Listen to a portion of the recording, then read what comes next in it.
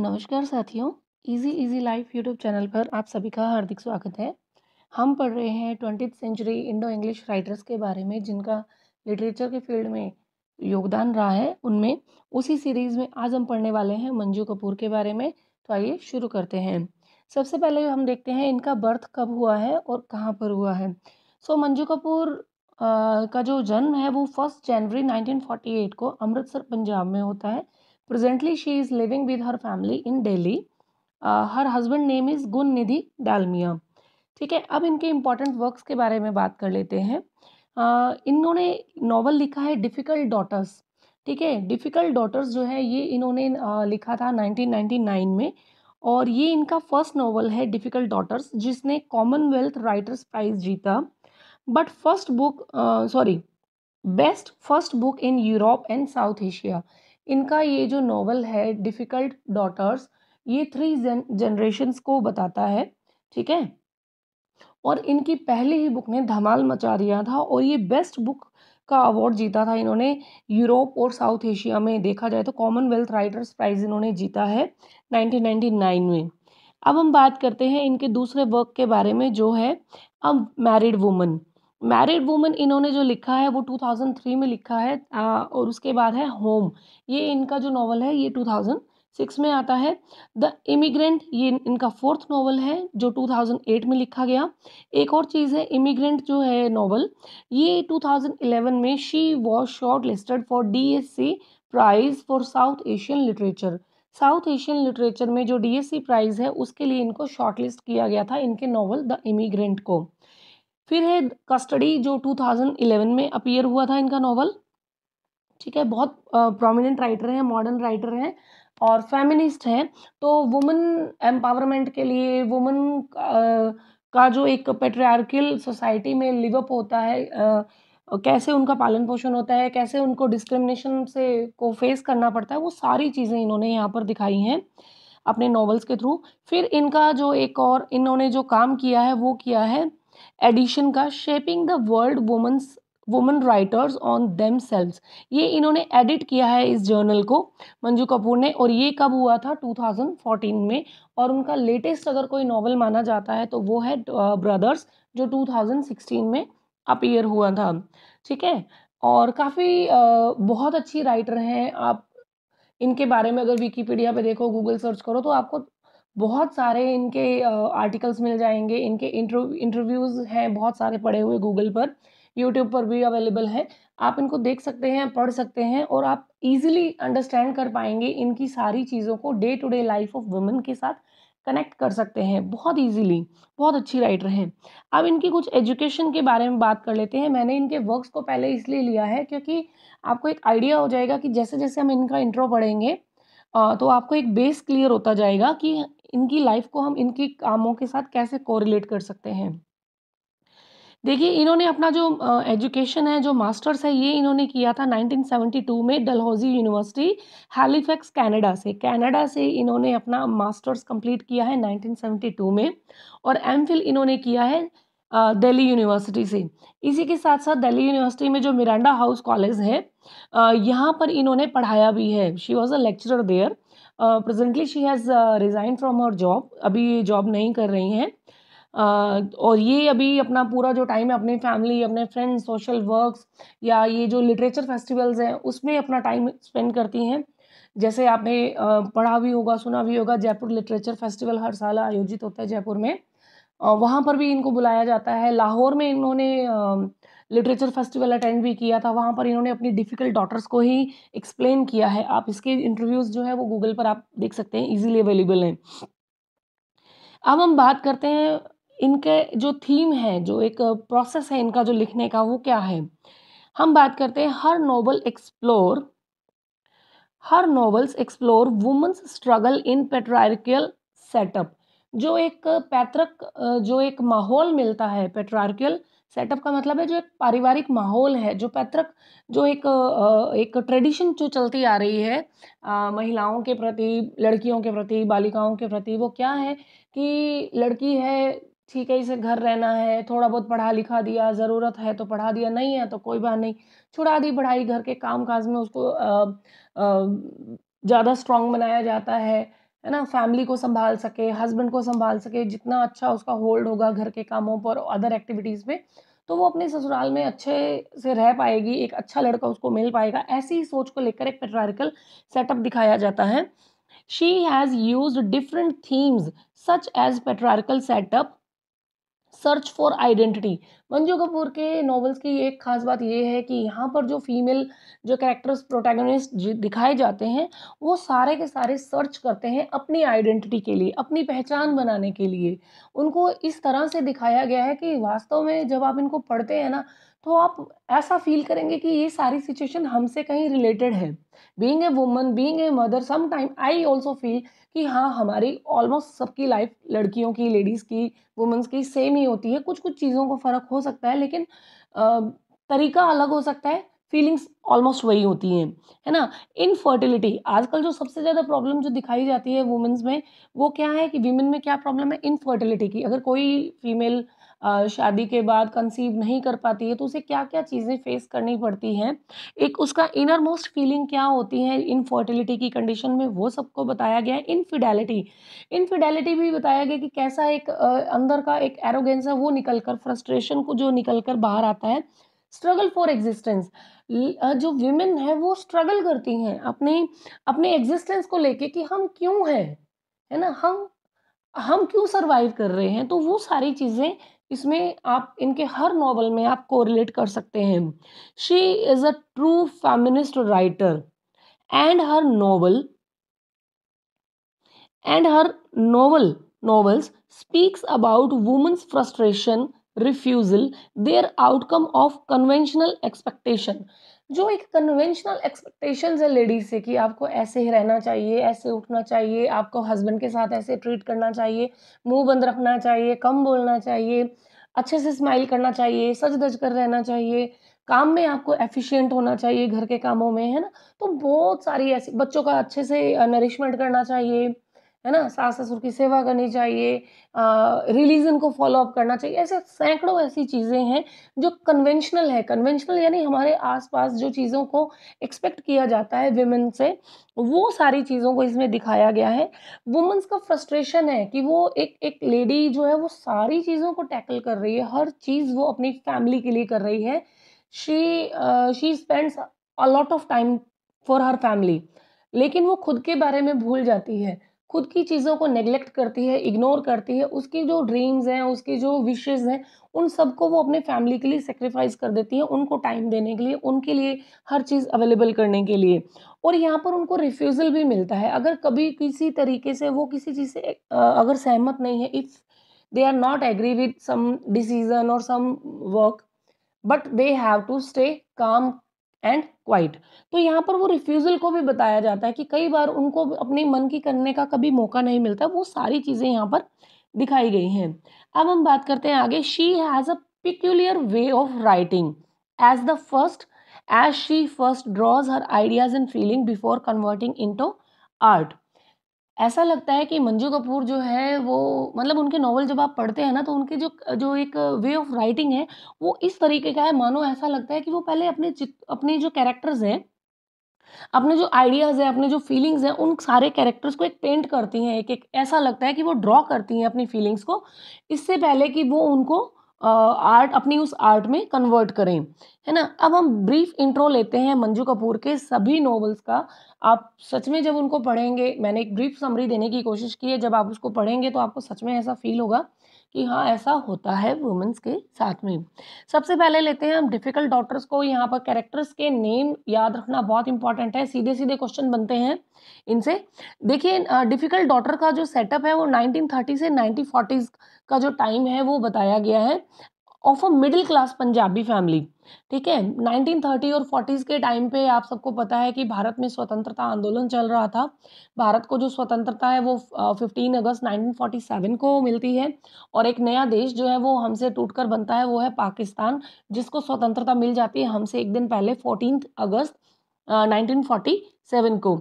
और उस टाइम पे बहुत बड़ा मास्कार होता है, बहुत बड़े लोग लेवल पर जो लोग हैं वो माइग्रेट होते हैं। पंजाब से करोड़ों लोग यहाँ पर आते हैं राजस्थान सॉरी पाकिस्तान से करोड़ों लोग जो है वो हिंदुस्तान में रहते आते हैं।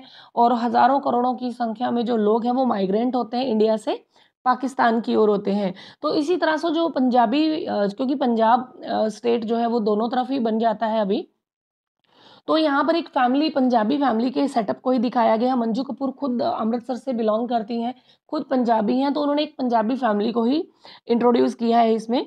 आ, अब है इनके मेन कैरेक्टर के बारे में जो मैंने बात की थी स्टार्टिंग में कि डिफ़िकल्ट डॉटर्स जो एक एक सेटअप दिया गया है, वो थ्री जनरेशन्स का दिया गया है। सबसे पहले कस्तूरी, ये प्री इंडिपेंडेंस से पहले का एक कैरेक्टर है। फिर है वीरमती, जिसके पूरे इर्द गिर्द ये कहानी घूमती है। ठीक है, फिर तीसरा जो कैरेक्टर आता है, ईदा का, ये पोस्ट इंडिपेंडेंस इंडिपेंडेंस मिलने के बाद जो कंडीशन होती है, ये होती हैं। कस्तूरी कौन है? वीरमती कौन है? और ईदा कौन है? इनके बारे में बात कर लेते हैं। हमारी पूरी कहानी घूमती है इस वीरमती के आगे। आगे पीछे। वीरमती किसकी डॉटर है? कस्तूरी की डॉटर है। ठीक है? Virmati, daughter of Kasturi. ठीक है? और ये जो ईदा है, ये किसकी बेटी है? ये डॉटर है वीरमती की। तो ये जो बेटी है, ये इसकी माँ है और ये उसकी नानी है। इन तीनों फीमेल कैरेक्टर्स को लेकर ही इस कहानी को बताया गया है। ठीक है? अब ये तीन टाइम पीरियड को बताता है। Pre independence struggle for independence and post independence. Kasturi का जो टाइम है, वो प्री इंडिपेंडेंस का टाइम है। यानी कि कैसे स्वतंत्रता से पूर्व महिलाएँ रहा करती थी घूंघट की पर्दा प्रथा हुआ करती थी, महिलाओं को बाहर नहीं निकलने दिया जाता था। बहुत कम उम्र में शादी कर दी जाती थी और बहुत सारे बच्चे उनको पैदा, उन उन, उनसे होते थे, है ना? शादी के बाद में उनके बहुत सारे बच्चे, बड़ा बड़ा परिवार हुआ करता था, बहुत बड़े स्केल पर फैमिली को संभालना पड़ता था तो उनकी अपनी इच्छाएँ तो जैसे मानो खत्म ही हो जाती थी। फिर है वीरमती का जो करेक्टर है, वो स्ट्रगल फॉर इंडिपेंडेंस यानी कि ये जो टाइम था वीरमती का, इस टाइम पे एजुकेशन देना थोड़ा बहुत स्टार्ट हो गया था इंडिया में। तो यहाँ पर जो लड़कियाँ थी इस उम्र की, ये स्ट्रगल करती थी अपने इंडिपेंडेंस के लिए, यानी कि स्वतंत्रता सिर्फ़ देश की, समाज की नहीं है, ये खुद अपने लिए स्वतंत्रता चाहती थी कि हम भी पढ़ना चाहती हैं, लिखना चाहती हैं, हम भी सोसाइटी में सेटअप होना चाहती हैं, कुछ बनना चाहती हैं तो वो एक स्ट्रगल चल रहा था। और ईदा का जो करेक्टर है, वो पोस्ट इंडिपेंडेंस को बताता है, स्वतंत्रता के बाद में, यानी कि जब महिलाओं को बहुत फ्रीडम मिल चुकी है तो उसके बाद भी उनकी लाइफ में कैसे चेंजेस आते हैं, वो सारी चीज़ों को बताया गया है। अब हम बात करते हैं हरीश की। हरीश कौन है? Husband of Virmati. और ये ऑलरेडी मैरिड होता है हस्बैंड ऑफ़ गंगा, यानी कि गंगा जो है, इनकी पहली पत्नी होती हैं और वीरमती जो है इनकी सेकंड वाइफ बनती है। अब हम स्टोरी के बारे में बात करते हैं कि हरीश दो दो शादियाँ कैसे कर चुका होता है। स्टोरी स्टार्ट होती है with the funeral of Virmati. Virmati का जो फ्यूनरल होता है, यानी कि वीरमती की मृत्यु हो चुकी होती है और इसका अंतिम संस्कार हो रहा होता है। फ्यूनरल का जब टाइम चल रहा होता है तो उस टाइम पे ईदा जो है, जो वीरमती की बेटी है, ये बड़ा दुख महसूस करती है अपनी माँ के लिए, क्योंकि जब ये जीवित होती है, तब तो ये माँ बेटी में कॉन्वर्सेशन बहुत कम दिखाया जाता है। बात नहीं करती है क्योंकि ईदा जो है वो एक पोस्ट पोस्ट इंडिपेंडेंस टाइम से है। तो ये अपने आप में मस्त है अपनी एजुकेशन को लेकर अपनी लाइफ को लेकर मस्त होती है अपनी माँ से बहुत कम बात करती है। लेकिन जब उसका फ्यूनरल होता है तो इसे अपनी माँ के प्रति कुछ फीलिंग्स जागती हैं और इसका मन करता है कि वो उनके बारे में और जाने।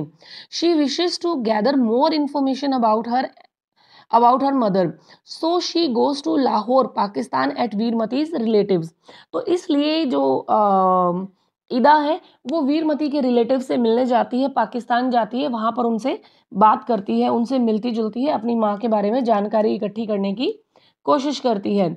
अब इसको वहाँ पर जाकर जब पता लगता है कि इसको वहाँ पर जब लाहौर जाती है ईदा तो उसको पता लगता है कि इस, जो इसकी माँ है, इसका जो परिवार है, वो आर्य समाज परिवार से बिलोंग करता है और वीरमती जो है, वो अपने घर में सबसे बड़ी बेटी होती है।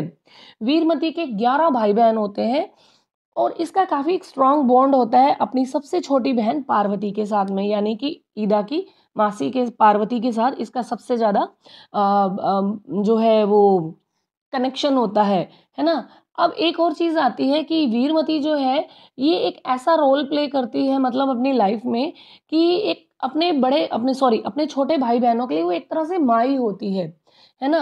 क्योंकि ग्यारह भाई बहन है, ये सबसे बड़ी होती है वीरमती तो अपने छोटे भाई बहनों की वो उतनी ही केयर करती है, जैसे एक माँ अपने बच्चों की करती है। बड़ा उनसे प्यार करती है, बड़ा उनसे केयर भी करती है। But Virmati has a boasty attitude है ना?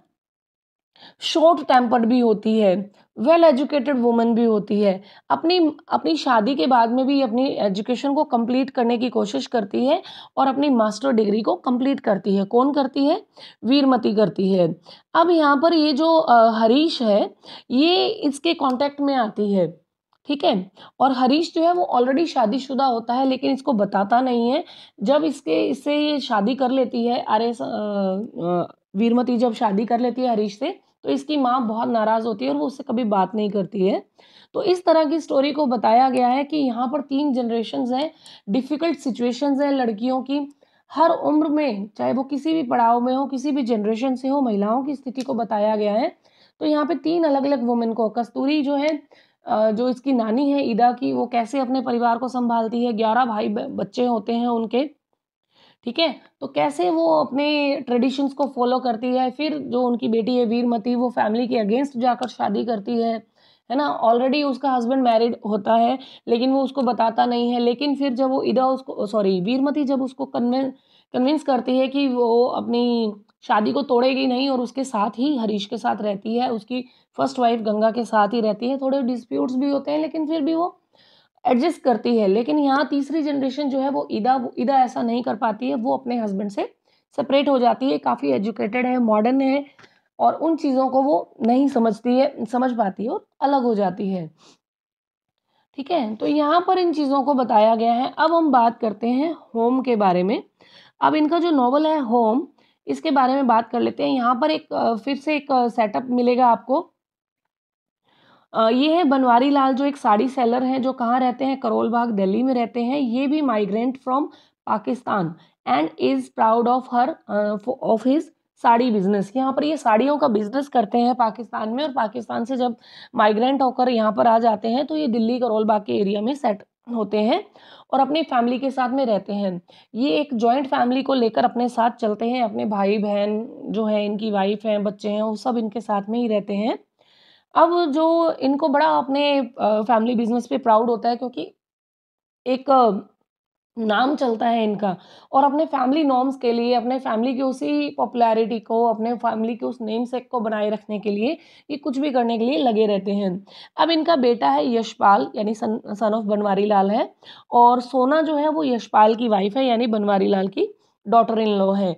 यशपाल और सोना लव मैरिज करते हैं और फैमिली के अगेंस्ट होते हैं, ये नहीं चाहते कि इनकी लव मैरिज हो, लेकिन यशपाल इस चीज़ से एग्री नहीं करता है।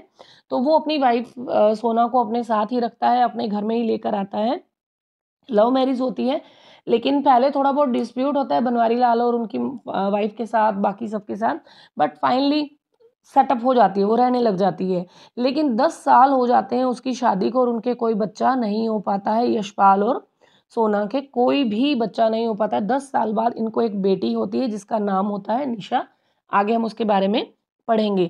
तो यहाँ पर सोना जो है, वो एक मेन कैरेक्टर के रूप में उभर कर आता है। बनवारी लाल एक बहुत इंपॉर्टेंट कैरेक्टर के रूप में उभर कर आता है, क्योंकि ये मुखिया है घर के। सोना इनकी बहू है।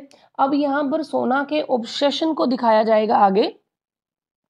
यहाँ पर हम बात कर लेते हैं एक और कैरेक्टर के बारे में, सुनीता। सुनीता जो है वो बनवारी लाल की बेटी है। इसकी जो मैरिज है वो बड़ी डिजास्ट्रस रहती है, यानी कि ये अपनी शादी में खुश नहीं होती है, इसका हस्बैंड इसको बड़ा टॉर्चर करता है और बड़ी अचानक से इसकी सस्पिशियस डेथ हो जाती है और विकी जो है ये सन है किसका? सुनीता का बेटा है। अब हम बात करते हैं निशा के बारे में, जो हमने बात की थी। ये हमारी मेन प्रोटैगनिस्ट है इस नॉवल की। होम की और सोना और यशपाल की बेटी है, हम पहले ही बता चुके हैं। Nisha falls in love however the love affair fails and heart broken she is infested with a disease that spoils all her beauty बड़ी प्यारी सी बच्ची होती है फैमिली का मतलब आँखों का तारा है। She is an apple of her family है ना? यश और यश और, यशपाल और सोना का एक apple an eye an apple of eye है ना? तो ये बड़ा उसको प्यार करते हैं, बड़ा उसको केयर करते हैं।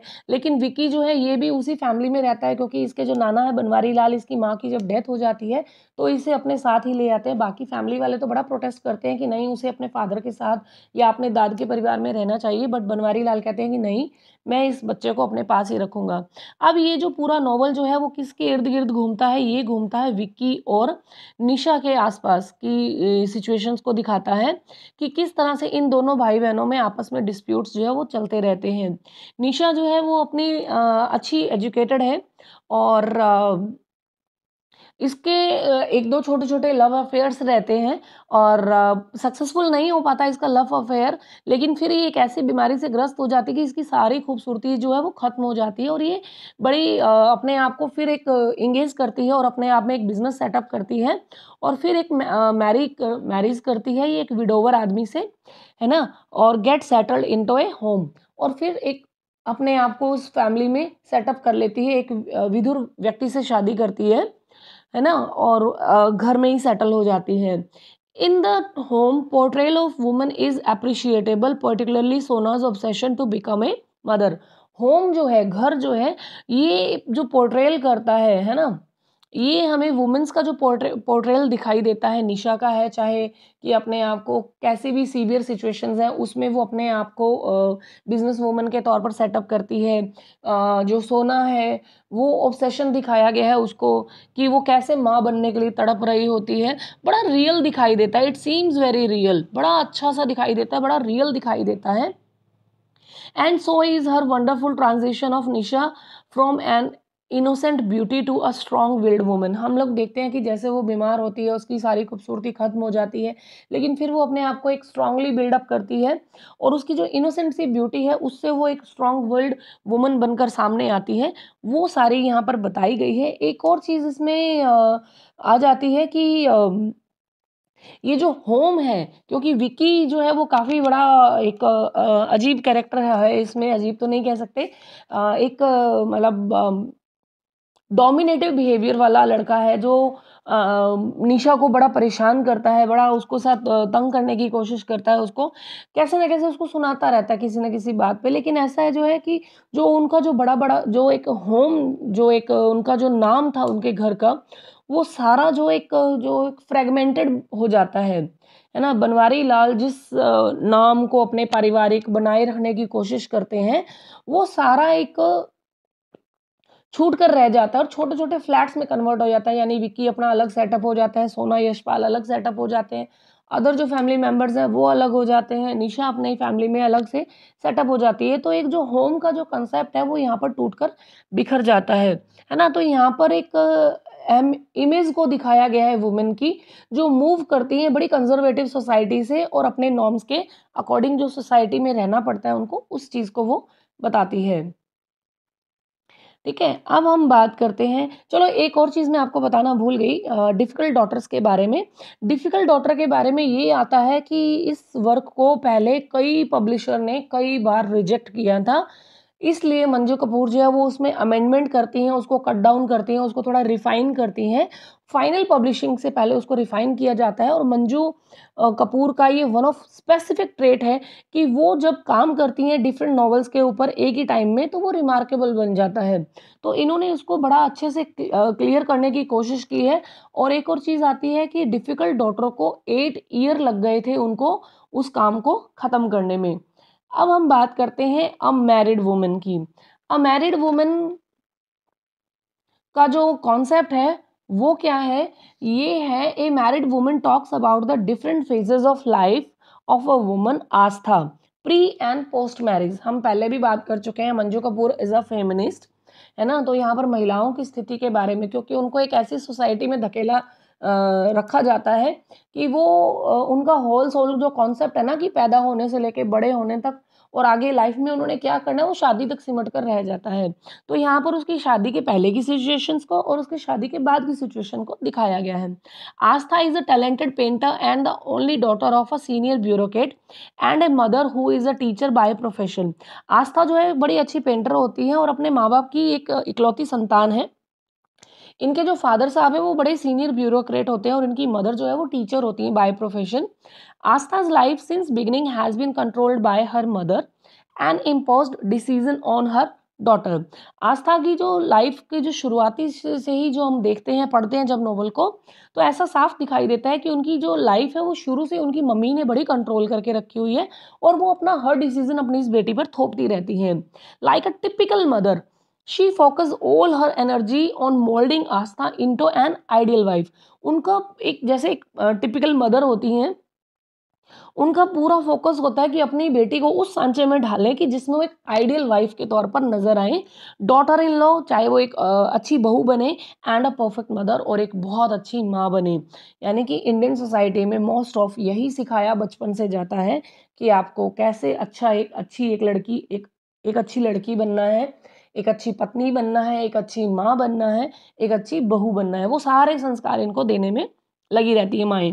फिर है हेमंत, ये एक एमबीए होल्डर है, जो यूएसए से एमबीए करके आता है, जिससे आस्था की शादी करवा दी जाती है। एजाज एक स्ट्रीट प्ले आर्टिस्ट होता है, नुक्कड़ नाटक आपने नाम सुना होगा, पर देखे भी होंगे। Ask her to develop the script for a central play centred on Babri Masjid turmoil.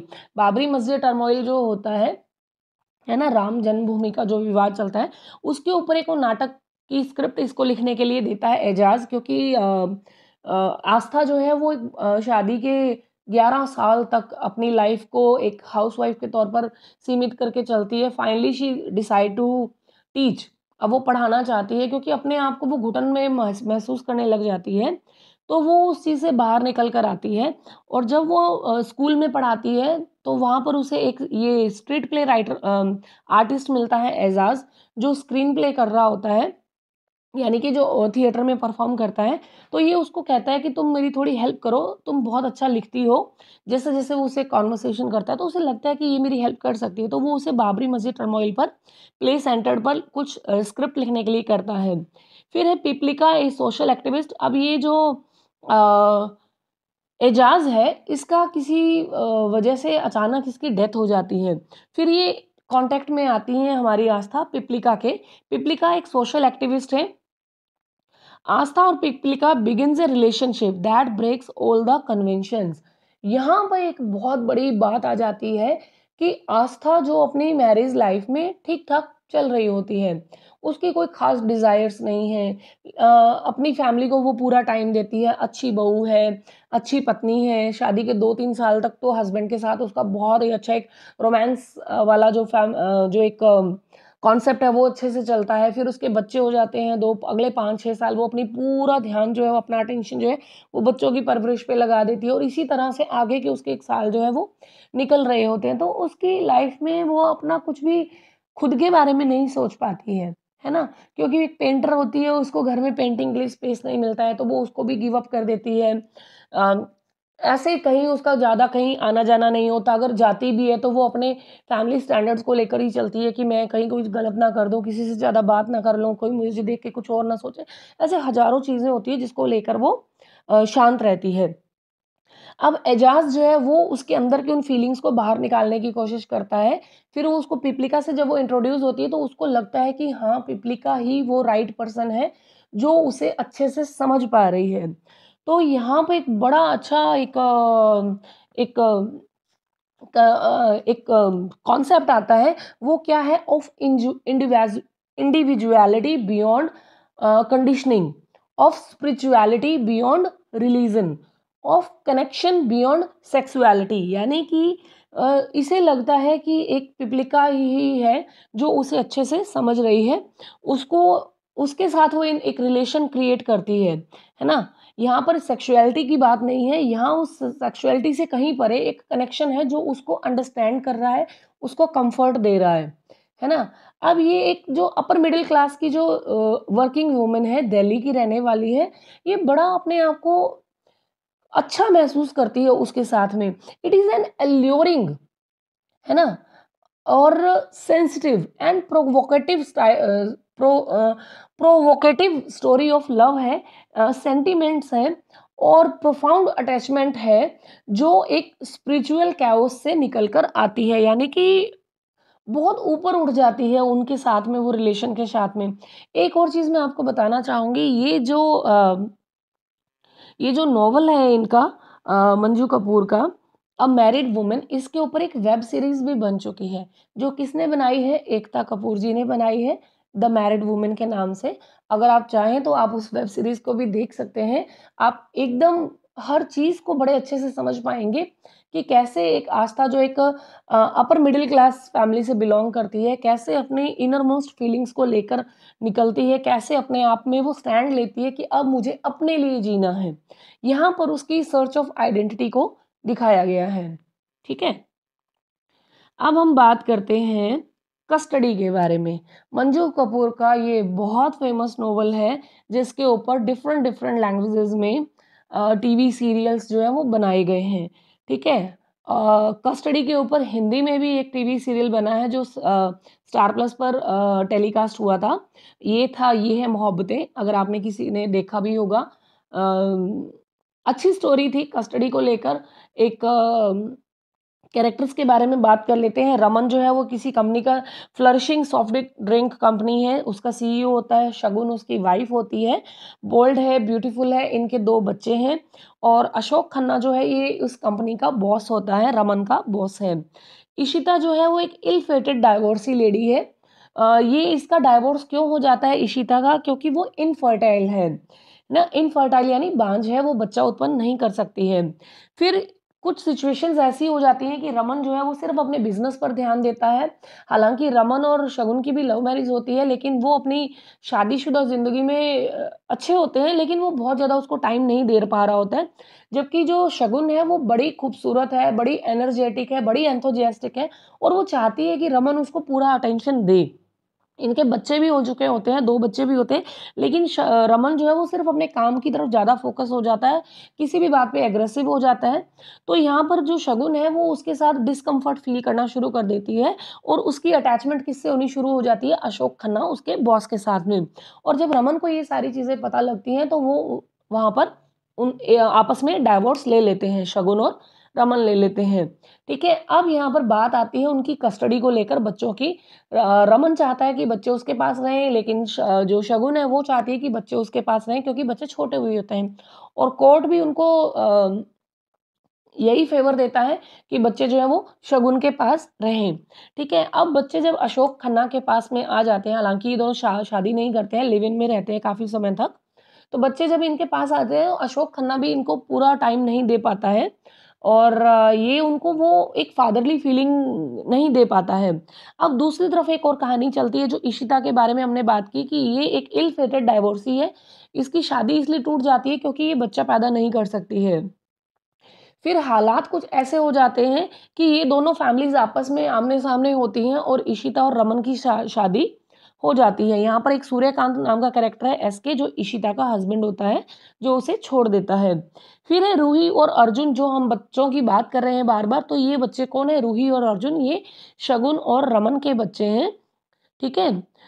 ये इनके बच्चे हैं। अब शगुन जो है, वो अशोक खन्ना से शादी कर लेती है। She takes custody of her children, ये उनकी कस्टडी ले लेती है।